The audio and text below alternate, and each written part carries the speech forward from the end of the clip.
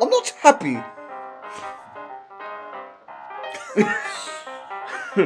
Ladies and gentlemen, It's a real Aussie with Jonn Ritland and the Derbinator. yeah, that's just how we're gonna start the show.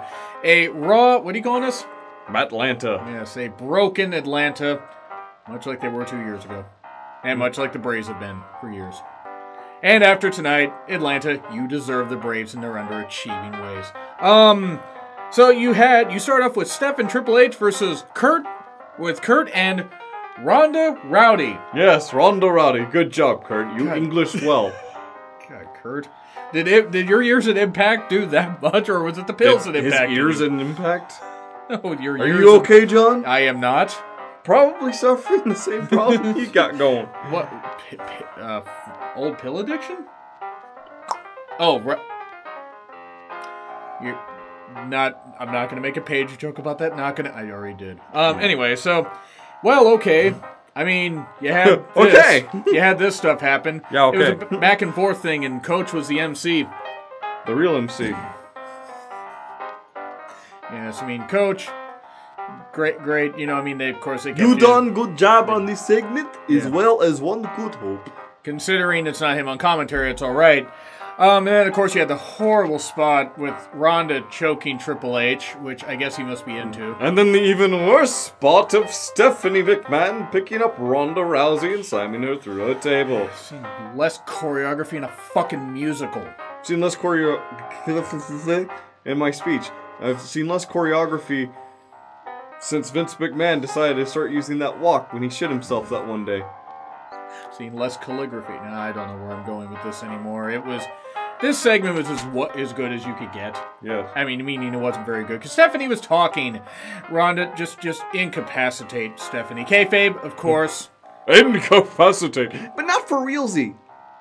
Nah, no, no. I mean, That's how John covers up his true desires. yeah. I want you to die, but not really. It's not Luger, so let's just go with that. So I just it was it, that chore that choreograph spot was bad though. yes. I mean, sweet Jesus. I mean, Stephanie, I know you're not a trained wrestler or a trained talker or even a trained human being, you exorcist cunt, but that's just ridiculous. It was so bad. Then we go to Bayley and Sonya, where the main theme of it is Paige is rubbing off on Sonya DeVille. I think Sonya And the 12 year olds in us were laughing. And also we were laughing. and so was the internet. everybody everybody was just making jokes about it. Look, I mean, Sonya may have liked it. I don't know. Sonya was body scissoring uh, Bayley at one point. It was a good match. It was actually a really good match. It was really That was well our paced. first match of the night. Yeah. Uh, 40 minutes in? No, it ended 40 minutes in. Mm, right. Um, it was really good though. It was pay per view quality. It was gr- it was well wrestled. Sonya is certainly doing well. Yes. improving well, and then Mandy screwing up. 'cause That's what Mandy does. Sorry, she's Yep. just not very good. But okay, you had Absolution beat them up afterwards, and that or well, Well, I beat mean- up Bayley, and then Sasha appeared, Yes. and you had Sasha like I'm helped you. Raise my hand. Raise my hand, bitch. And Bayley was like, "Mm, No, I'm going to punch you. You're not going to punch me. I'm going to punch you. I'm going to clock you. This will be a nice feud that they can have for a couple pay per views after Yes. Mania. Unfortunately, it won't take place at SummerSlam, which is sad. This it, could, though? yeah, because this should have taken place at Mania. Actually, Hmm. should have maybe found a way to squeeze this in with Alexa and Nia. No, I'm just saying four way, something like that. It would have Oh, given Paige is rubbing off on other things too. the hasty insertion of the Paige uh, comment. But anyway, I'm terrible. So it was Mm-hmm. it, it was good. It, it was good stuff. And I mean, you had all that. That was actually pretty much the highlight of the goddamn show. Yeah, and then A lot of video packages. lots of promos, lots of replays, lots of promotions, Yes. lots of promos and promotions. And you had Seth Balor. Oh yeah, Yeah, that match. We had that match with Miz on commentary talking about how excited he is And because congratulations on becoming a dad, Yes. Miz. that's great. Your kid's first word will be very English than your wife ever spoke. Um, what? I didn't say anything. Oh, sorry. Well, oh, I was saying it to the audience. They didn't say anything. They haven't seen this yet. Oh, true. Um, and Miz, at one point, I've been What is this? yes, Now. I've been I've been peed on, I've been pooped on. Trump takes his hat off to you. Wait, that's just his hair. a good tribute to a WWE Hall of Famer. Yes. Cyndi Lauper and Andy Kaufman are in the Hall of Fame, the celebrity wing. Trump is. And Kid Rock is going to be. I hate Kid Rock. I hope the mic explodes in his face. Verily. So, um, of course, having a kid changes you. God damn it, Miz. You're supposed to change a kid. Learn the early years of parenting. Why aren't you changing my diaper? Mich- Taker talking to Michelle. oh god. The underwear taker. he had a brief retirement. Anyway, so um, you had packages on Brock and Reigns. Wait, I wait, no, video packages on Brock and Reigns, and then we had more of them later. I'm I'm being very uncomfortable with these lines. You're going off on a tangent. Yes, I am. So we then have Braun attacking the bar. Mhm. Who's his partner? James Storm was apparently backstage at Raw. You know what? Hey, hey, he's just like me, but a little bit different. He's got a beard. He's But no! It is not Braun Strowman. it is Brain Strowman. There's a difference. He wears Dudley's glasses. yeah, yeah. That was actually pretty funny. I mean, Bra- Oh. Braun can do it. Braumedy, Braunedy. That's- Bromedy. that's what- Bromedy, Bromedy, much better. Bromedy. It's like a it's like a barometer, only funnier. But that that was that was good. I don't know what I'm saying anymore, or ever. So this was this was a fun segment, Yes. and then of course Goldust and Matt having brief promos. The And then we go to commercial, and then we come back to a match. yes, that's bad. Not even going like maybe where you're in the middle of Matt's entrance as they get to the ring. You're starting in the middle of it. Where Matt, of course, at one point, when Dustin does a cool move, he starts applauding him, and then the and then the crowd and the fans start standing up to do it because Matt is Matt is a few years younger than Goldust, yet cannot move nearly as well, and that makes me sad. I find it entertaining that Corey Graves right now is the biggest mark in the company for Matt Hardy, and it's just the best. It is, and Cole, Cole heeling it up. I, I, we don't need heel Cole back for the love of God. I mean, Cole. What, you don't like the coal mine? Can I have your attention, please? bury him in a goddamn coal mine? have him sitting like one of the little birds in a cage in a coal mine and see what happens. A canary. Is that what it is? Was it a canary? Yeah. Oh, God. Canary in a coal mine. Oh, okay. It's the old saying. Hmm, all right. The more you know. It's pretty bad that me being about me being about ten years older than you, I didn't know that. um, it was fine. I mean, the match ended. Matt won. Cool. This was our third match, and we were about two hours in. Two hours in, and then Cole, can I be a Woken Warrior? Graves, No. no. And then uh, it's like, okay, this is and this is where a little bit of a rant's going to come in because we actually are uh, we, we're we're doing good on time. But Alexa and Mickie, the bad graphics for one thing, but the fat shaming of Nia. Look, I'm not Nia's biggest fan, and I'm not Lest we forget, Mickie.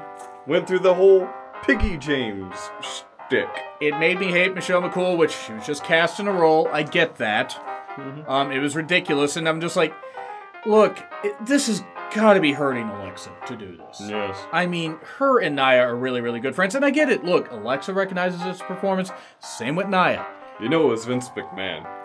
She's like, oh, she's fat, right? Let's uh, let's do that. I don't know. I know. I know who it is. I know it's Kevin Dunn because Kevin Dunn wouldn't know Dun, what's, what dun, dun, dun.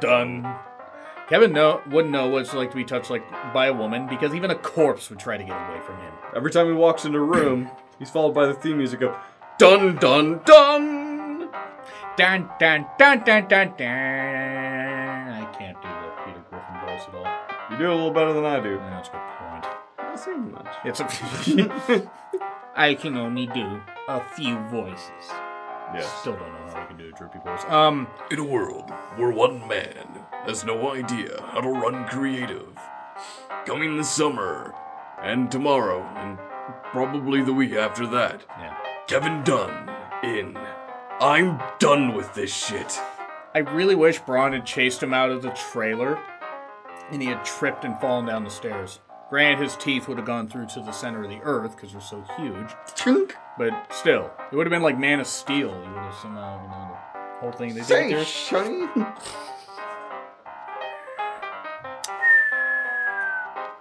Dan Rather. so, just enough. Uh, Nia's got to beat Alexa in like a few minutes. Yeah. They're gonna, and we'll save our predictions, by the way, for tomorrow. We will do our Congratulations, you know one of them. she's got to beat her. I didn't say she would. Um, but this is going to be this is going to be obviously a short review. Our WrestleMania predictions will be saved for tomorrow Yes. after SmackDown. For good, obvious reasons. Yes. Cena challenges Taker again, and no Taker, and nothing, and it just seriously, I.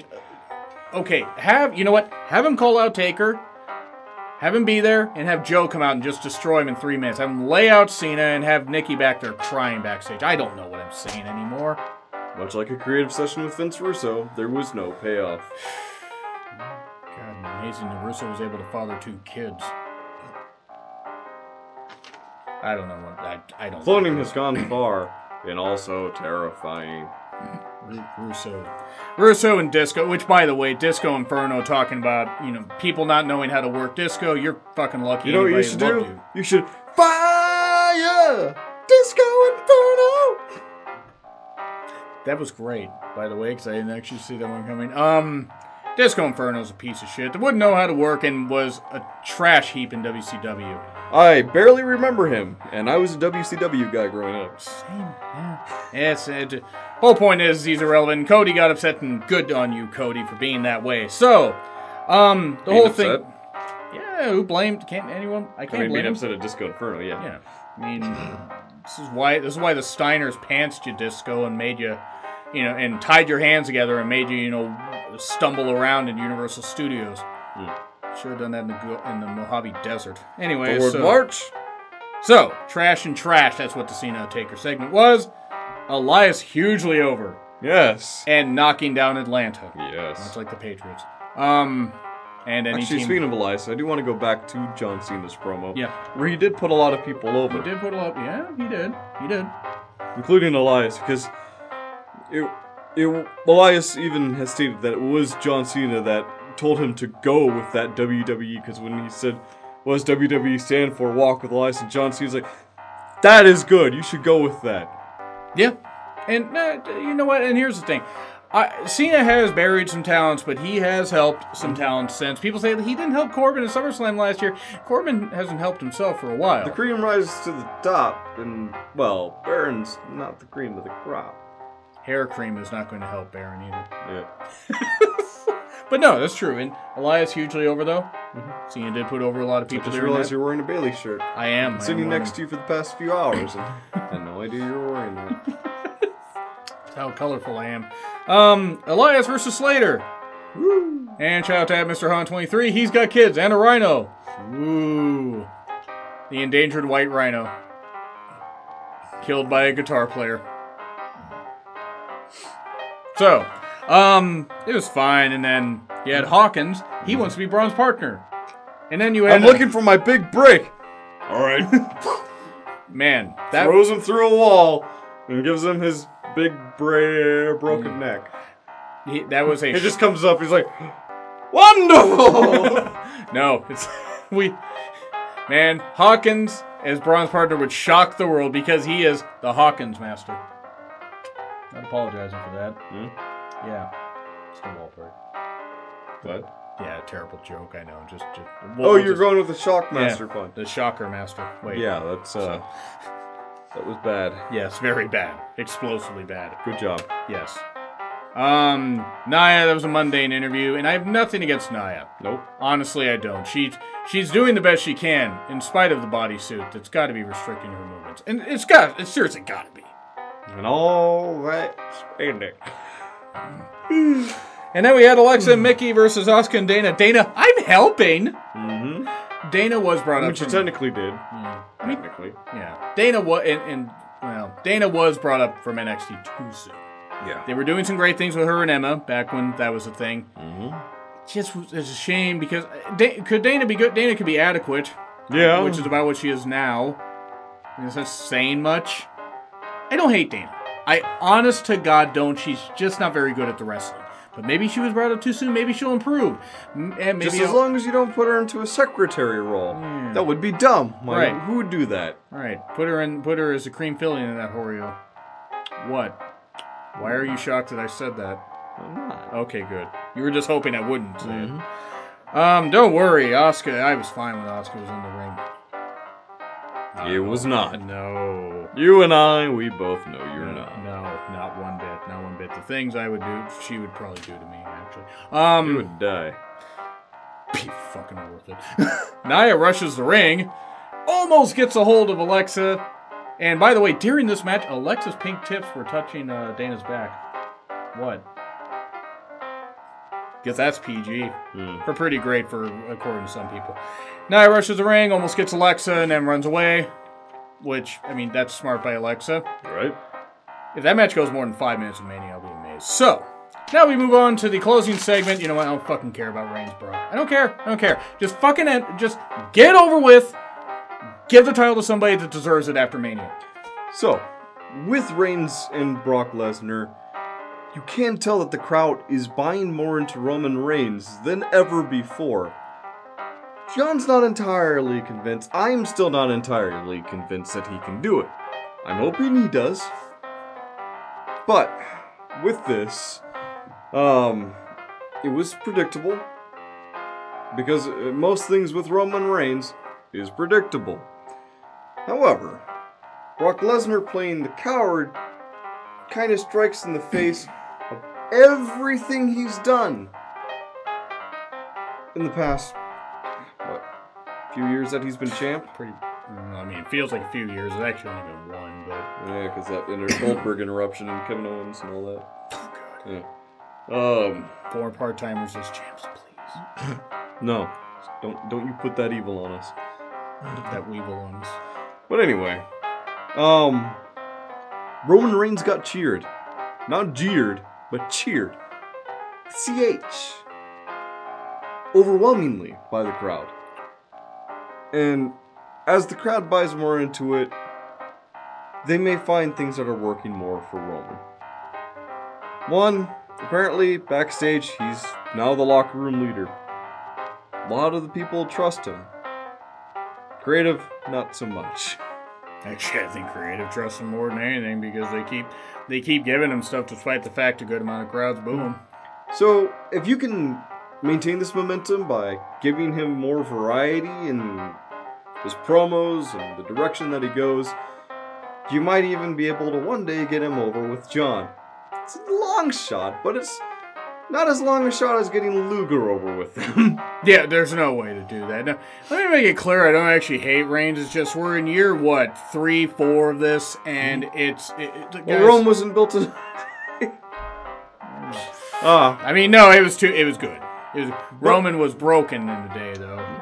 but alas, Roman is is getting over with the crowd. Yeah, but it's Atlanta. Sure. We'll see how he performs at WrestleMania. We'll see if the predictable spear, Superman punch, Superman punch, spear, Superman punch is not how he wins the match. Probably will be. but You know what? I'll say we'll, we'll see how they do. I'll save my prediction for what I want to have. at- No, you know what? I'm just gonna say right now. You know what? Everybody bash at the beach. have it be Bash at the Beach 2000. Brock lay down and have him pin you. Just have it happen. Just have it happen. Just piss all over the damn things. What you did at Mania 20. No, you know what? Brock can leave if he wants. Good for him. It just get over with. Get the title to Reigns, and then give it to somebody that deserves it. Have Hawkins fucking beat him for the belt. I don't care. That'd be hilarious. It would be. Anyway, so uh, see, see.